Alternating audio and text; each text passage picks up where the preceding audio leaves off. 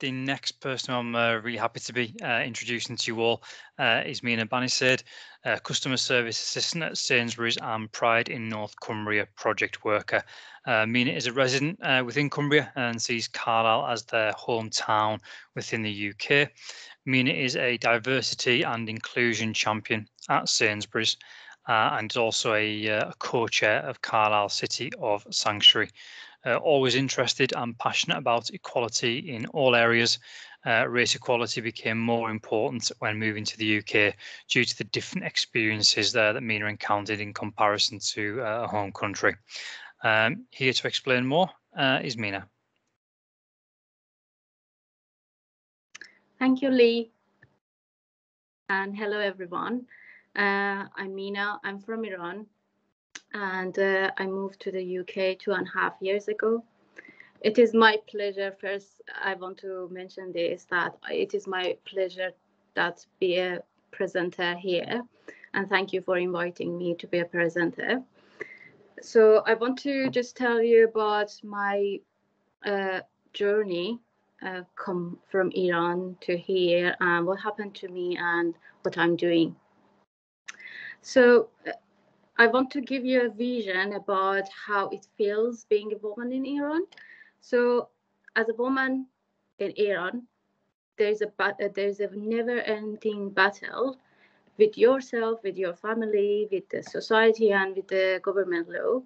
Uh, you always belong to somebody else. Uh, it could be your uh, first is your dad. After you get married, is your husband, your brother, your cousins, and it's just men of your family. So you never have that uh, freedom to be you or do whatever you think is your rights as a human, not just as a woman.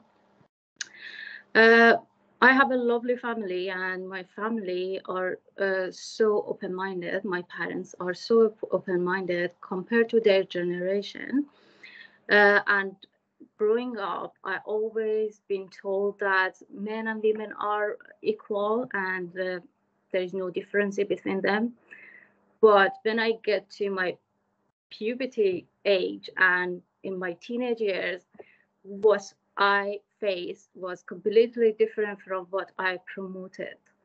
Uh, I could see many, many differences between me and my younger brothers uh, as a girl, as a female, and I wouldn't be able to do some of the things that my younger brother uh, able to do. So I thought, uh, oh, it's not fair, and it doesn't seem right what is happening to me because what I have been promoted is completely different.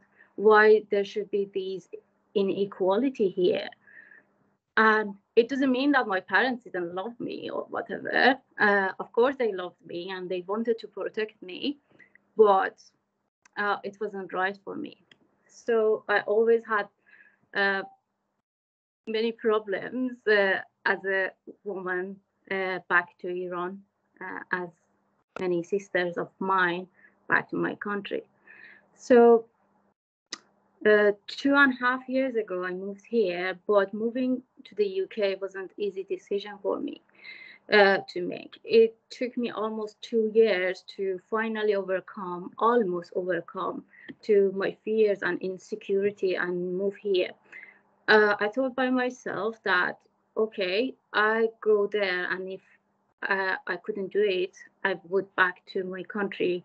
But you never know what life planning for you since uh, the day that I uh, I've got here, many things happened to me, many things has been changed. Uh, I would be able to finally, finally um, find out about my sexual identity, uh, met my girlfriend, and just coming out of my shells and of the closet, and it completely changed my life I can't say it forever. Uh, but many other changes happened to my life, uh, and I am getting to know myself more and more. And even it's better to say that uh, the process of getting to mo- know myself uh, got faster. So I, what I feel right now, and at this moment is like I am taking back all of the power every day, the power that has been taken off from me by the law, by the uh, culture, by the society, and uh, just I feel more powerful now. And uh, I've done many things for the first time uh, here that they are forbidden back in my country. Um, for example, I went to a gym that men can be there too, and uh, uh, or being with a swim costume at the beach and uh, going for uh, even playing pool. so it is completely for, forbidden for women uh, back in my country. These things are completely, completely out of my comfort zone, and I'm challenging myself every day by doing uh, these things. Uh, and uh, Cumbria is a very beautiful place. It was uh, something that I haven't planned to come to Cumbria, come to Carlisle, but uh, it happened. And I really love the, the area. I really love the county, And I've I met lots of amazing people here, uh, and they've been a big help for me. Uh, but I can't say that uh, that everything was was just uh, beautiful uh, when I came here or even now. I faced many many things uh, that they've been like a barrier for me, and one of the most um, the biggest barriers was my I think lack of uh, vocabularies in English when I first moved here but I needed to do everything by myself and help myself. So I needed to learn more and more English. Uh, so now, after two and a half years, I'm really proud of myself that I can speak English that much that people can understand me. But this uh, lack of uh, knowledge of the vocabularies uh, till now sometimes just uh, it's a big barrier or uh, for me or at least i think it is because i uh, i just uh, i am a little bit nervous so i lose my vocabularies. Yeah it's a big barrier for me still till this day because i think if i i was more fluent in english i could get more opportunities here, uh, which I lost them because of that. Uh, this is the the way of thinking of mine, and I'm not sure that if it's true or not. Uh, so the barriers that I faced uh, along my journey, uh, it just mm, had some consequences for me uh, like I questioning my own values and abilities uh, and uh, feeling sometimes feeling isolated and uh, low self-esteem even till this day. Another thing that I want to talk about is about uh, uh, the experiences that I've been having based on my racial differences, which they were completely different from what I experienced back in my country. So when I was, uh, we have different ethnicities that they live in my country, uh, and like other countries, some of the people in my country, uh, they could be uh, racist towards those people, those different ethnicities. Uh, I never faced uh, with that uh, discriminations because of my ethnicity because I am part Arab. I never had that experiences, but I, I, I, I've seen many of these discriminations against my cousins and against uh, other people in my country. But I never ever faced uh, these discriminations because of my ethnicity. But when I came here, I could, I faced some of these discriminations and it was so difficult for me and uh, it just made me question that, oh, am I doing something wrong? Why I am here? Why why I am doing this? Why people can't accept me for who I am? Uh, I, I, I, have been already discrimination because of being woman at my country.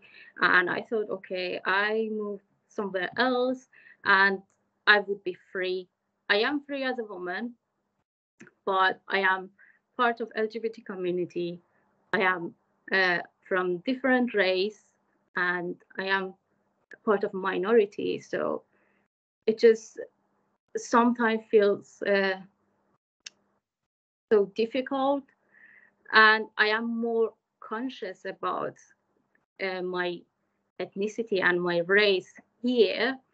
Uh, and it's a, I think it's a big problem for me. Uh, I feel sometimes so everything that happened to me my my first assumption is okay if this person has this uh, behavior towards me it must be because i am not from here. And it can make some barriers between me and other um, people from here.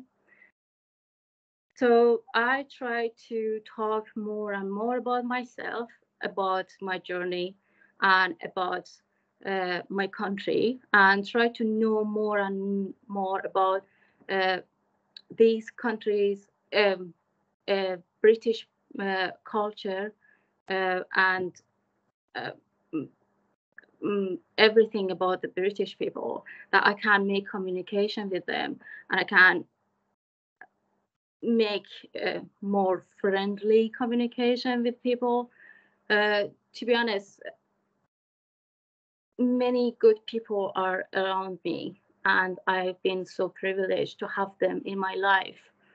But uh, recently I had the bad, very bad experiences that why I am talking like that. That uh, this is the reason that why I am talking like that today. So another thing that I am really, really passionate about to, to do based on my lived experience and what I've been through and what I uh, learned is uh, to help other people that they had similar experiences uh, as me to give them uh, to educate them and empower them to be able to know to know themselves and what they want to be. Mostly my focus is mostly on women and on lgbt community, refugee LGBT community, because these two uh, groups are so vulnerable and they really, really need uh, to know and help themselves more and more. Uh, so this is it. I think I was really, really fast. um, can, I, can I just pick up on that, Mina? Um, if you don't mind, about you, you talking about um, wanting to educate women and empower women because I know we've been in conversation recently with yourself and Sam from Pride in North Cumbria um, and also Adrienne from Carlisle One World Centre about developing some work for women um, across the county and and I think that it's really important to just raise that the reason that that project came about was because of you and because of your experiences. And you are turning your experiences, your difficult experiences, into something positive.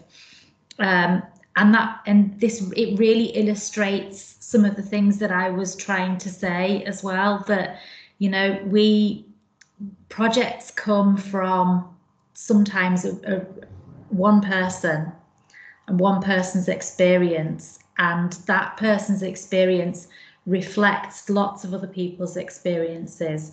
and you're able to help those people. And then we we're looking at how how we do that. You know do we go in a classroom and start telling people uh, giving them an, a lesson an education? I, you know i don't think that would work. So we talk about trying to come up with more creative and innovative ways to do things and to get women talking um, and that's that's what we're exploring at the moment. And we think we think we might have some funding for it. Um, yeah. So um, i just really wanted to to point that out because this this is really important to to the work that multicultural cumbria do. Um, it, you know because we've been told in the past that um, it, it's not we've got to look at the masses rather than individuals, but actually a lot of the time it comes from individuals and that and these things come from little conversations. And I've, I've got to say I can't I can't not say that I am just so so proud of you and seeing how you've developed over the two and a half years because I, I I met you when you very first came and you could barely speak a word of English, and you know we we've got to know each other, and and it's incredible, and you really are incredible.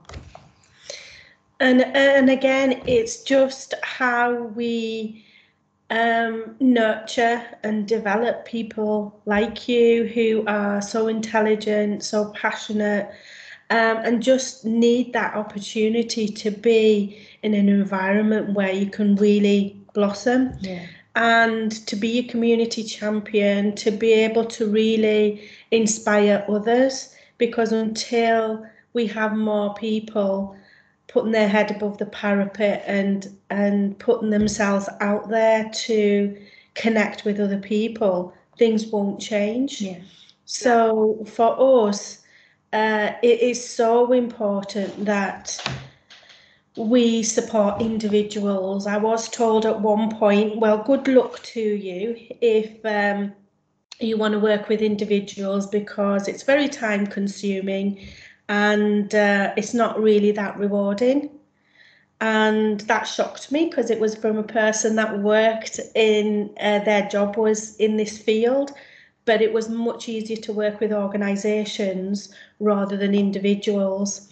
And to us, it was like, I'm an individual, Tina's an individual, you're an individual. But actually, when we come together, when we have that opportunity to work together, then we become something bigger. So for us, every single person makes a difference. And whether that's um, uh, engaging and trying to make your passion and your dreams come alive. It is about having those opportunities and organising events and organising fun social activities as well. If we've got that many different heritages here, can you imagine if we just pulled 70 different heritages together and what we could do?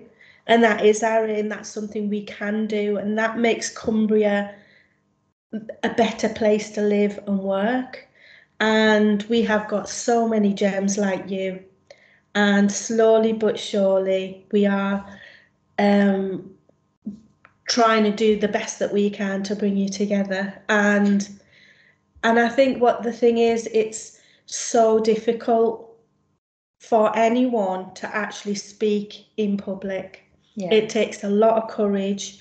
Um, and for one, even me having done this for so long, you always come out of doing a talk and think, should have said that, I didn't say that, I would have said that. Do you know that doesn't matter? Yeah. Because at the end of the day, you're doing it and you're making that difference. So that's why at Race 2B, we always really enjoy having people from within the communities and highlight them because this isn't about us.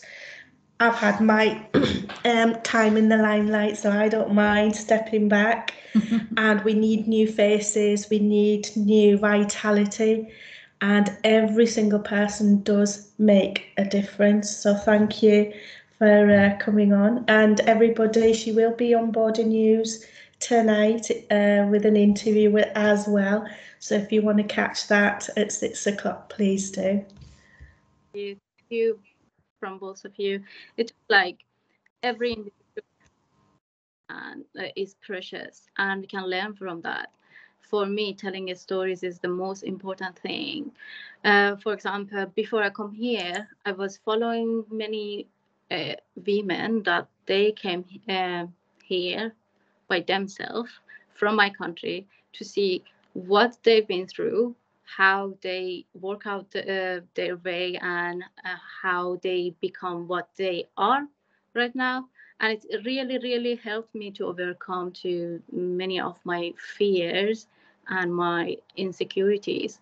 Uh, so because of that, I think what we need to really, really focus on, in my point of view, is just listen to people uh, and their stories and open, uh, be open uh, to conversations, making conversations, uh, not just uh, refugees conversations or other culture conversation. This conversation should be between all of us together to know each other more and just uh, we can answer many questions and some of those fears that come from uh, lack of knowledge and not be educated uh, it go away and we can have a better community and work together. And people like me can feel more belonging to the, the city to the country because at the end of the day i am living here i am working here uh, and i am member of this city and member of this community at the moment and what I want, and I see Carlisle as a as my hometown right now. So whatever I want for this city and for this county is just good things. I want to everybody be happy and everybody try to know each other and just uh, make a better life for all of us. It is the most important thing. So this is my passion that one day I can see these conversations happening between all the people without fear, without insulting each other, and just have a better city and community. I, I know that it needs uh, work, but uh, I think one day we will get there. Yeah. We will definitely. And I think um, some of the things you were talking about as well about growing up. Um, we were having a conversation uh, yesterday about different cultural differences. Um, and uh, I can relate to you about being brought up, being told you're equal. And then you get to 15, 16, and then things start changing. Actually, it's not. Um, but I can remember my brother turning seven and him getting a bike. And I was like, well, I wanted to ride a bike as well. I wanted a bike, but it just wasn't the way because in society, in our culture, more emphasis was paid to the boys rather than the girls. And um, I wasn't a good I can't ride a bike properly anyway. But that wasn't the point. it was you the weren't point. given the chance. I wasn't given the chance because I didn't get a bike. And as you grow older, like you did, your experiences as well, um, you start realizing the differences and start questioning it. And sometimes, for me anyway, there were no answers. And I was just told, well, that's just the way it is. Or Islam was used as a way of saying, well, it says in Islam you can't do this. Until I actually found out, actually, there's a lot more we are allowed. So, in your experiences while you were in Iran, how did how did those differences appear? It is, it is the same actually. For example, because I uh, Iran is an Islamic country, and whatever we are banned uh, and forbidden to do is based on the uh, Islamic rules that government uh, promoting to us. But some of these are just mixed mixture between the religion and the culture and the law and uh, at the end you don't know that where should you go. For example, uh, like you riding a bike, it was illegal for women. My brother had the bike. I never had a bike, but I always stole his bike. and As we do. learn how to ride a bike. And when I grew up, he had another bike, a very good bike, but I couldn't have a bike. So I was begging them, could you please come with me outside at 12 uh, o'clock, uh, 12 a.m. at night? That actually just ride this bike for five minutes when nobody is outside in the mm, in the street.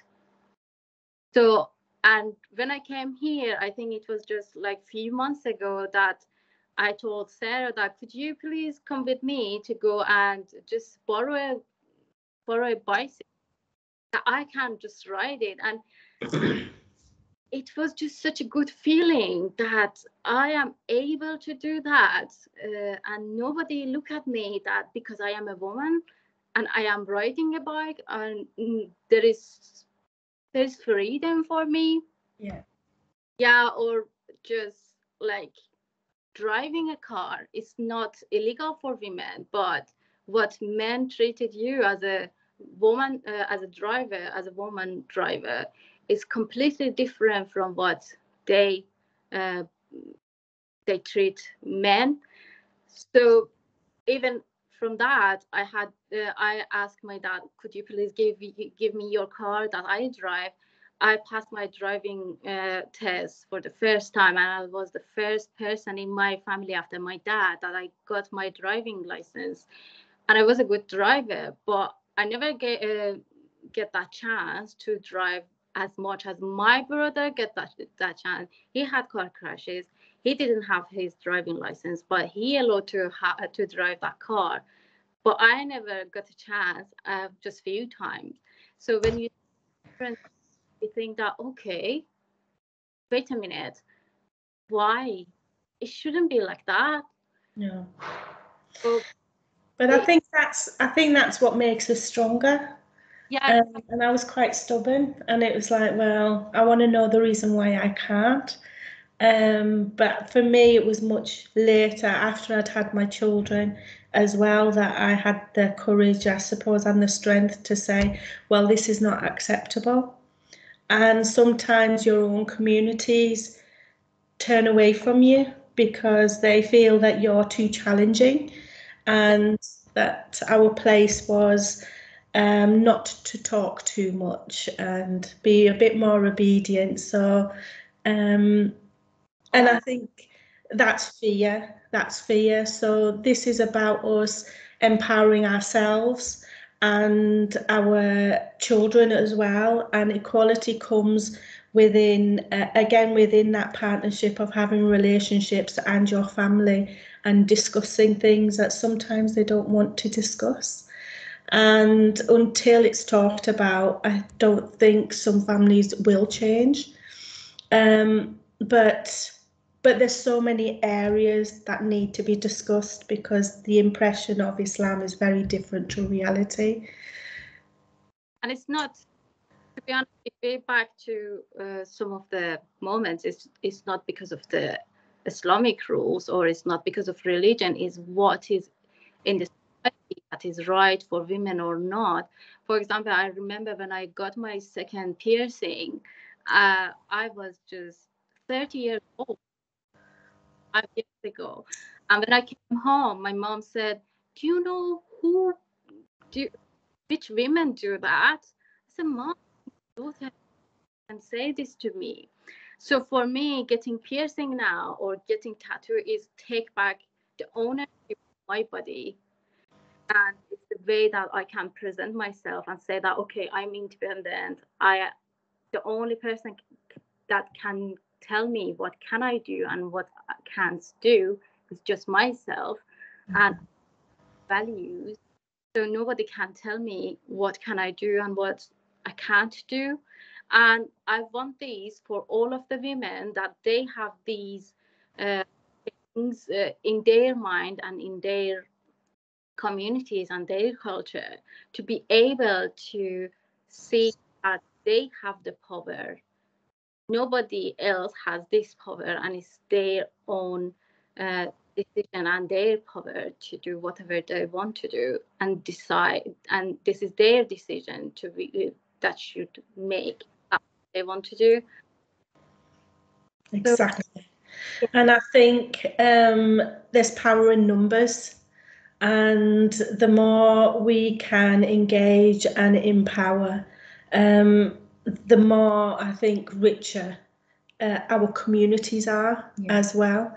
And it gives the opportunities to talk because we do waste some time. We start talking about one little conversation and we're there for about 20 minutes about cultural differences. But it's not a waste of time it's though. Not. That that's the thing because it's really it's a, it's about developing that insight and and what I was saying earlier about developing us as individuals as well as professionals. So yeah, we're working together, but we're learning much more than about the job. You know, yeah. I take it home. I, I talk to my daughter about the conversations that we have here, um, and it's and it's fascinating to hear her perspective on that as well. You know, I told her yesterday what we were talking mm-hmm. about, mm-hmm. and Sonia, um, our administrator, was saying a lot of the same things um, because she's from India and has had a lot of the same mm-hmm. experiences. Mm-hmm. And it, it's, you know, I know some of it, but yeah, it's still new. And the the, the topic, oh, can't hear you. That this is uh, what making conversation is about. This is it. And I think I just have two minutes left. I want to see if anybody has any questions from me it was really, really lovely talking to you. I, I conversation. Hope we can continue that eh, in another day. Yeah, definitely. Lovely. Thank you so much. Over to you, Lee. Yeah, I was just giving people a couple of minutes in case I want to post anything in the chat or raise their hands. Uh, don't think there is, which is not a problem. Um, no, thank thank you so much, Mina, and thank you, uh, Tina, for exploring that conversation a bit further as well. I think, like you say, to have those own personal experiences that you've accounted for us and to to use that to to empower and support others is something that shouldn't be uh, undervalued, underappreciated. It's a fantastic cause. So thank you so much for sharing those personal experiences, Mina.